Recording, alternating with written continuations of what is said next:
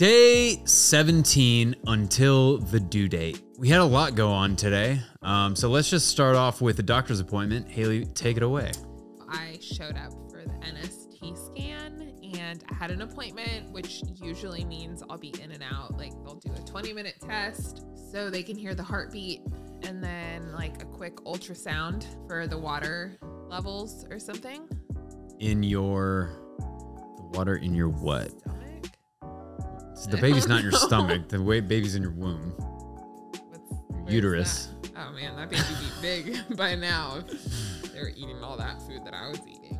Yeah, so I got there and they were like, "Oh, it's downstairs today." And I was Oh, wait, are you talking about amniotic fluid? yeah. It's amniotic fluid. Anyways, the NST nurse didn't show up, so Because it's Veterans Day. That's it. I don't know. She didn't show up, so then they put me in the triage room, and there's like chaos going on in the triage room.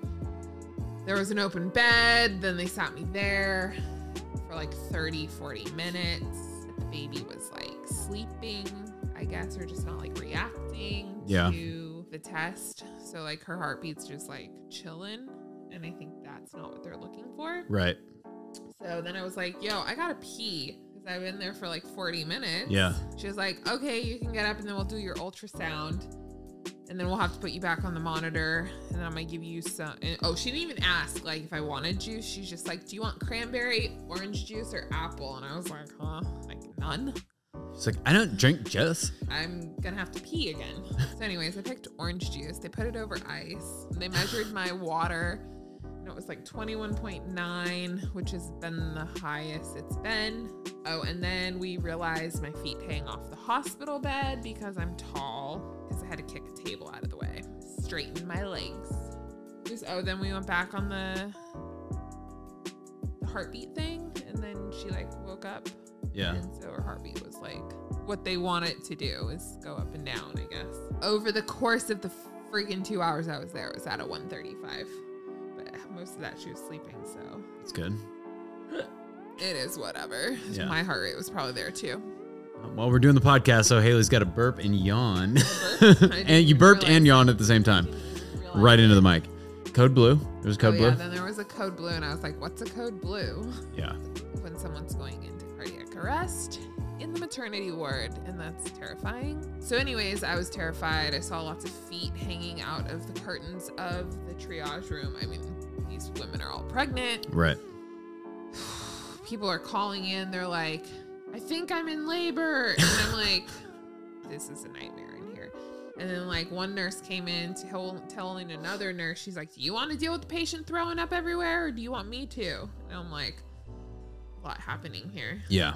I waited in the car like a good husband would. Then we left, right? Um, came back. We saw two homeless people having sex. Well, Uh, I saw the butt. I saw, like, the naked. it looked like they just woman. finished. It was on the overpass going on the 101, 134. But yeah, like she was pulling her pants up and walking away from what looked like a bed. I don't know. There was like a little fort. The guy was on the bed, like kind of going like this, like he's pulling his pants up. So, pretty sure they just finished things up right, in broad daylight. It was one in the afternoon on a very busy street. I can only imagine if you had kids and you were driving by that thing, having to explain, like, "Mommy, what's going on over there?" It's a Los tough thing. Is a mess. It is a dumpster fire. They should rename it Thunderdome. I don't understand. I'll never understand. But anyway, after that, I cooked. Hayley made me some sweet food. It was very good. Um, she made me uh, a bagel with some eggs on it. Say bagel. It's a bagel. Bagel. Bagel. Yeah. Bagel. Is it bagel or bagel? Avocado, eggs, and bagels. You guys let us know in the comments below, you know? Because everyone's watching. Everybody does it. Yeah, uh, both viewers. Like, if anybody is watching this episode, write a comment. Just one person. Um, write a comment. Let us know. Is it bagel or bagel? And then What do you think it I vacuumed. It's bagel. I vacuumed. I Swiffered the floor. I moved the stroller from that side of the room to that side of the room because there's just a lot of baby shit everywhere. And this is like after I deep cleaned like my entire life. Mm-hmm. Yeah. I deep cleaned it. I threw so much stuff away, and now there's baby stuff everywhere. I edited another one of these, um, which takes forever, by the way.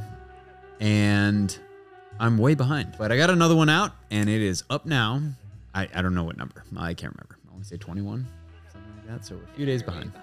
I'm, I'm behind on posting them, but I'm not behind on filming them. We like we've been Yeah, on it, That's right? true. These are happening on the right. Yeah. Uh, when- Oh, and we went grocery shopping yesterday, and now Josh wants to go out and get pizza.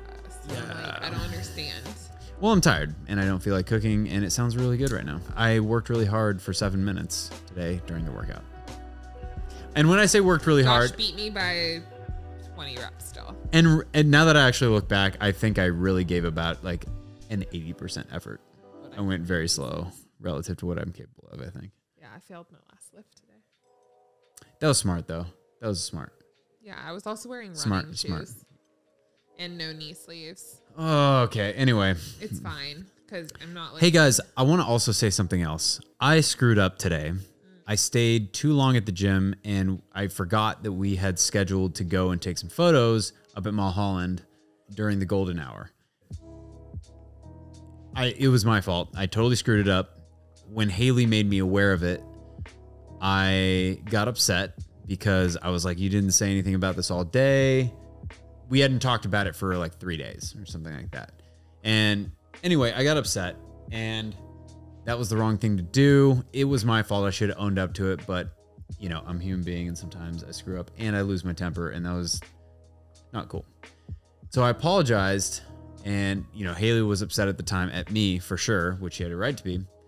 And so I left to go get some tools and just do something else and I started thinking about it and I was like, well, I'm I'm a total dick. And I wanted to make her feel better and I was like, dude, what can I do because nothing nothing works, you know? If you guys have not read the book The Love Language, The Five Love Languages, you need to do that. Hayley's love language is gifts.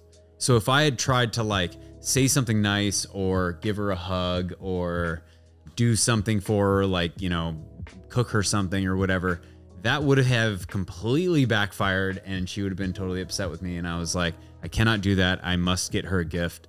And so I went to this awesome little uh, flower shop nearby and I told the owner what happened and how I was an asshole. And uh, he and I that I wanted to get her a gift uh, to make up. He was totally cool, gave me a rose, and then as we were driving by a few, or it was today or like something like that, I remember Hayley remarking as she was looking in the window, they have these like little rocks that are like these crystals, your amethyst. amethyst, and she was like, "I want a purple rock," and she was just kind of like joking or whatever. But I got her a little purple rock, and uh, I apologize, and I'm really sorry. I love my rock. I love you. I know. Why did I tell you guys that story? The reason is because I want you all to understand that marriage is very, very hard. If you had been present when we were arguing, you'd be like, this is a disaster. There, this isn't going to last. There's no way. But it requires you both to bury your ego in a few ways. The first is obviously for me, I screwed up. And even if I feel like I had some sort of like ground to stand on and that I was right, it doesn't matter. Like I needed to apologize, take the lead, and just be like, you know what? I'm going to own my part of it and what I could control.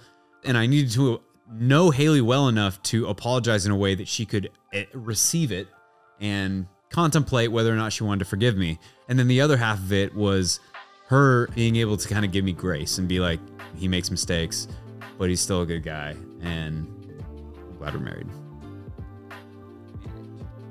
I think that's a good place to wrap things up, dude.